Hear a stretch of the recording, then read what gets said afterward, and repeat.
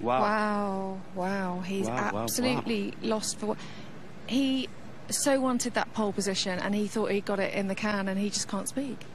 Well, we've talked about this before qualifying started. Questions and to analyse where he is in his, his own mind by by being so lost for words. The, the easy thing would be just answer the question, say, look, we're going to go out from underneath them. You know, none of us expected that last sector to deliver the change in qualifying. Good example and a good reminder. It's not over until the uh, the checkered flag. No, absolutely. But it, I mean, he literally sounded like he couldn't speak, physically couldn't speak. He just like as so... if he, he, was in a fight and he's just got winded. I mean, it was a body punch that what the surface is like and whether it can be quick enough or not quick enough. And to bail him.